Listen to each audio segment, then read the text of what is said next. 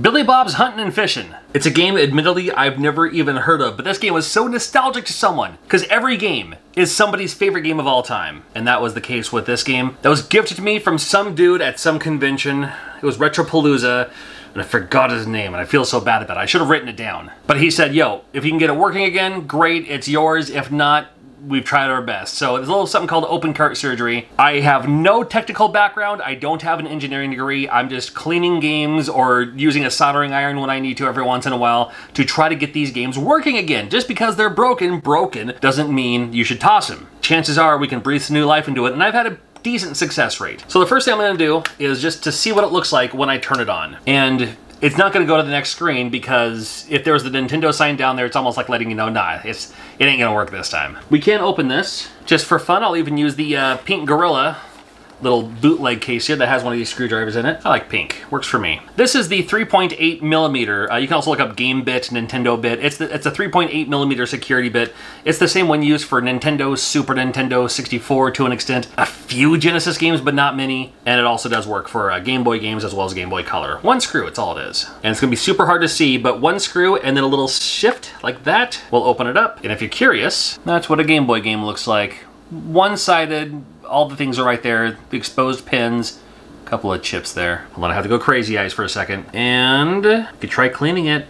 I mean, that's the first thing anyway, right? They do make one-up cards for Game Boy games. That'll fit right in there. I, I, have a couple of them, I can't find them. So since it's open anyway, I'm still gonna use a one-up card, just a standard size one. Actually, this one's, eh, this this one's pretty grungy. Let me find a different one here. This is one of my older cards. I gotta get some more of these made. I usually hand these out at conventions and stuff like that, free of charge as a thank you for coming to visit me. But I have a couple of them left. I don't give them out anymore, but I should get some more made. Fluid side, dry side. That was way too much fluid for how big this card is.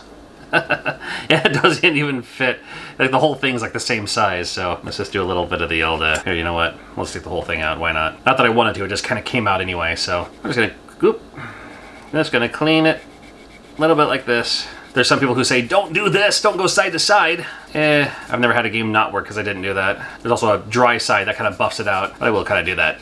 Up and down, up and down, with the grain, with the grain. You can play it like this. Let me just put it back together again just so it's safe. That in there, this in here. It's a little like that. And we still don't have that Nintendo logo down there. Interesting. I don't even know if it shows up on your side, but I sure see it. Or don't see it for that matter. Oh yeah, that's right, you can also go I mean, he even said don't put a whole lot of time into it, but I figure since it's all here and everything, we could look at it anyway. Now, these little travel size Q-tip thing was a perfect idea for this. Just keep it handy. Fine, we'll try the Bright Boy. And if you love this kind of stuff, make sure you're subscribed. I always have new videos coming out soon. It's the best way to see my videos pop up on your homepage, so you don't miss out on anything. There are some who say don't use Bright Boy. Uh, I'm gonna use it anyway, because I've had it work before. But again, in using this, you wanna make sure that your board is extra clean before you put it into your console. And yes, we have a literal 7-Eleven in our house. Now this is my son's door. Mm-hmm. The alarm goes off when he knows he's here. Hi, Jaren. What is it? What do you see? Do you want Daddy's phone? You don't need Daddy's phone. I'm, I'm cleaning a game. Do you want to help me clean games? Mm-hmm. Do you want more open? Do you want more open cart surgery? Mm-hmm. No. All right. Well, we tried. You're back. Do you want more open cart surgery? He likes to steal my phone and like he likes to steal my phone and then just record random stuff on it. This Bright Boy stuff, I think it works wonders. But again, like I said, you want to make sure that you take care of it. You really take care of it here. So I did just a, a little dab, did a little scrapey scrape. Jared, what is it? Oh, Jared, leave it alone, buddy. And it's only, with Game Boy games, it's only the one side. You don't have to worry about the other side, just the one side. I'll put it back together here, just in case. Sing for me, my angel of music. Nothing still. Well, we could try touching the solder points. That has worked in the past.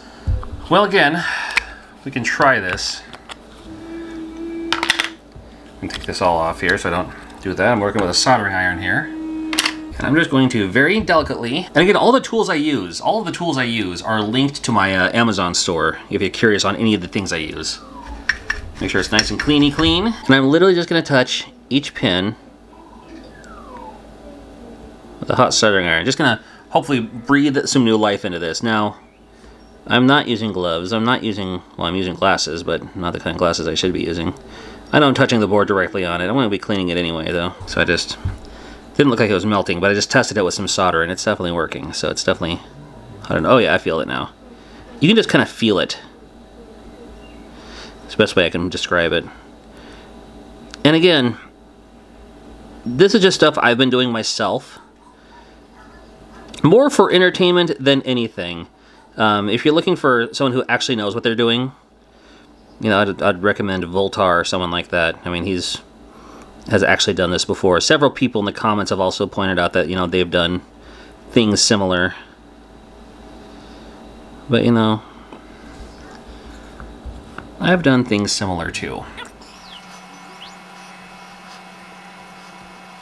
And this is one of those cases where you do want to do pin by pin. You don't want to just go, you know what I mean? Because then you might actually trace the solder over to another pin. And uh, then you're sending too much information down to the pins to the game. You might glitch it that way. Nice and neat, nice and careful. Hmm. What do you think? Do you think that did it? It's worth a shot anyway, right? May as well. Do do do do do do do. These ones shouldn't matter. Let me do these anyway. These are a little bit more precise. And of course they matter, or else they wouldn't be on here, right? But for what we're trying to do here, since we're here anyway, I don't think it's gonna do anything. I don't think that's gonna do anything anyway.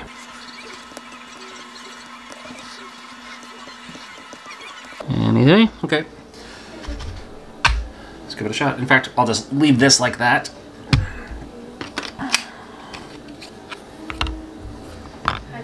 Hey, sweetie. Oop. Hmm. Okay. Let's give it a shot. Pop it in there. It's the only one I have, so take my word for it. if it works or not. Alright, powering on. Here we go. Well, it says Nintendo. Hey! Alright, all it took was some, uh, breathe some new life into those pins. I'm telling you, sometimes you just gotta touch them up. Touch up the pins. Soldering iron.